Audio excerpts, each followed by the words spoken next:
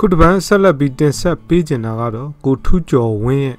ပိန်းဥဒါမှမဟုတ်ကိုကျိုးစည်းဝါဆိုတဲ့စောင်းပါးလေးကိုဆက်လက်ပြီးတော့တင်ဆက်ပေးလိုပါတယ်မဆလာလူတပါတီအာနာရှင်စနစ်အောက်ရောနာအဖလူစစ်အာနာရှင်စနစ်အောက်မှာရောကျွန်တော်တို့တော်တော်လေးကိုမနစ်မြို့ခဲ့မကြိုက်ခဲ့ကြတဲ့ပုံစံတစ်ခုရှိပါတယ်အစိုးရဌာနတွေကဝန်ထမ်းတွေပိုတိပါတယ်ဘာလဲဆိုတော့ ဌာနအဖွဲ့အစည်းတစ်ခုခုမှာအထက်ကကြိုက်လို့ချပေးလိုက်တဲ့လူဆိုတာကိုပါပဲသူကအထက်ကြိုက်လို့တနည်းအားဖြင့်အထက်ကိုပိုင်လို့ဒီနေရာရောက်နေတာဆိုရင် သူနဲ့အဆင့်တူယာဒူးတူသူတွေကအစအဲ့လိုလူဆိုမျက်နှာချူသွေးရပါတယ်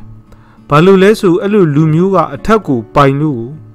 သူ့သွားထီလို့သူကသူချပေးလိုက်တဲ့အထက်နဲ့ပြန်ကြက်လိုက်ရင် ကိုကဂွိမာလီဆိုတော့အဲ့လိုအထက်ကြိုက်လူဆိုယွန်းကြောက်ဖြစ်ကြတာများပါလေကျွန်တော်တို့ဟာကိုတော်မကြိုက်ခဲ့လို့တိုက်ယူခဲ့တဲ့စနစ်ကအမှုအကျင့်တွေကိုပြန်မကျင့်သုံးကြဖို့လိုပါတယ် no excuse ပါဒါတွေအတွက်ပဲဘဝတွေအသက်တွေပြီးခဲ့ကြတာမဟုတ်လားဒါတွေဟာ principle တွေပါ မပြောင်းမလဲမဖောက်မပြန်ရမယ့်အရာတွေပါ တိုင်းပြည်ကောင်းစားရေးကို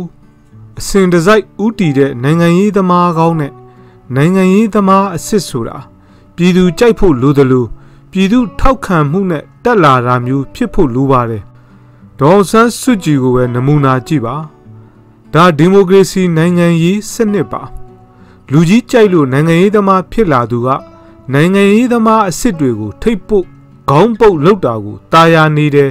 ခံနေတယ်ဆိုရင် ဖြစ်နိုင်ကြီးနှစ်ခုပဲရှိပါတယ်ပိန်းနာဟုတ်ချင်ဟုတ်မဟုတ်ရင် ကိုကျိုးစီးပွားကြည့်တာပါပဲ